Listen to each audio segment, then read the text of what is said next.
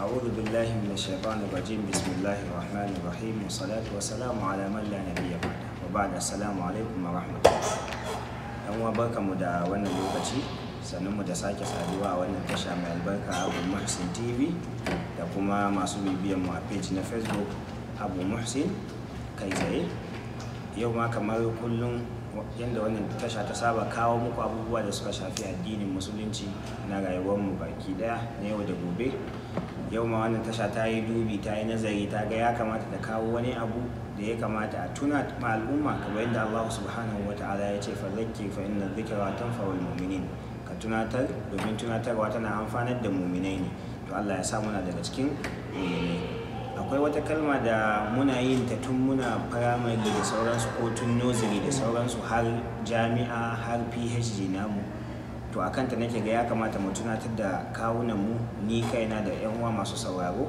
Wannan kalma ba kowace kalma ba ce kalma ce da kowa ya riga ya san ta. Ita ce la ilaha illallah muhammadu rasulullah sallallahu alaihi wasallam. Babu abin bautawa da gaskiya sai Allah kuma annabi muhammadu manzon Allah. Wannan kalma tana da falala masu ɗimbin yawa wannan nake ga daga cikin falalolinta ne za mu ɗauko ɗaya biyu zuwa uku zuwa abin da ya sauwaka. Mu tuna ma junanmu domin mu ƙara riko da ita mu gane cewa mu da muke tafiya a kanta mu ne ke hanyar tsira. Wanda ba su kama ta ba su ne a hanyar bata.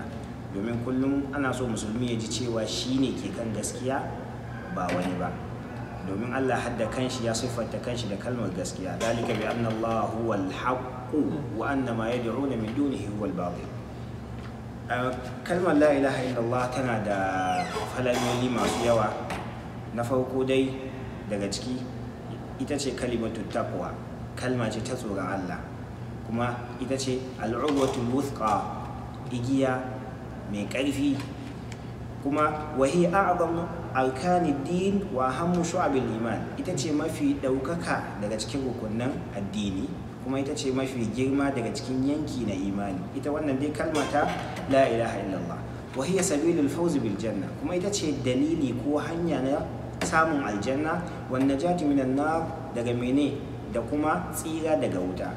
Wa hiya kalimatu shahada. Kuma kamar yadda muka sani ita ce muke kira da mene? Kalmatu shahada. Wa miftahu sa'ada. Da mabudi na farin ciki da walwala da samun nasara. Wa asluddin kuma ita ce asali na addini. Ma'ana duk wanda ya riƙe la ilaha illallah ya riƙe asali na addini. Da haka ba zai yi ka zama musulmi ba sai ka riƙe wannan kalma. Za mu kawo ayoyi ɗaya biyu a cikin alkurani mai girma wanda Allah ke magana akan ita wannan kalma ta kalimatu la ilaha illallah. Qauluhu ta'ala fadarsa madaukakin sarki shahidallahu annahu la ilaha illahu wal malaikatu wa ulul ilmi qa'iman bil qist. La ilaha illa huwa al hakim ali azizul hakim.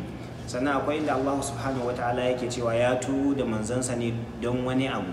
Sai ce walaqad ba'athna fi kulli ummatin rasulan don mene? An i'budu Allah wajtanibu tabu kuma ita wannan kalima ta la ilaha illallah kalma ce mai girma sosai. Daga cikin fadalolinta kuma Allah subhanahu wa ta'ala ya siffanta ta a Qur'ani akan ita ce kalma ce tayyib kalma ce mai kyau. A cikin aya suratu ibrahim Allah yake cewa alam tara kaifa daraba Allah mathalan kalimatan tayyibatan ka shajaratin tayyibatin asluha thabitun wa far'uha fi sama. Tu'ti ukulaha kulla hinin bi idni rabbiha wa yadribu Allah la'allahum yatadhakkarun sannan daga cikin falalar wannan kalima akwai ayar da Allah subhanahu wata'ala yake cewa faman yakfur bi tawuti wa yu'min billah duk wanda ya kafirce ma gumaka wa yu'min billahi kuma ya imani da Allah faqad istamsaka bil urwati wuthqa hakika yayi riko da igiya mai kaifi me ke tabbatar mana kamar yadda muka faɗa daga cikin fallanta a farko akwai zaman ta igiya mai ƙarfi ta haka kuma yanzu Allah da kanshi ya faɗa mana duk wanda ya kafirce ma gumaka ya yi imani da Allah hakika ya riko da wannan igiya mai ƙarfi kalmata la ilaha illallah. Da haka ana buƙatar na tsawaita. Domin malamai sun ce khairul kalami ma qalla wa dal fiyayyen zance shine wanda ya zama kaɗan kuma ya nusantar. Naku ibrahim shu'aibu adam abu muhsin. Wassalamu alaikum wa rahmatullahi wa barakatuh.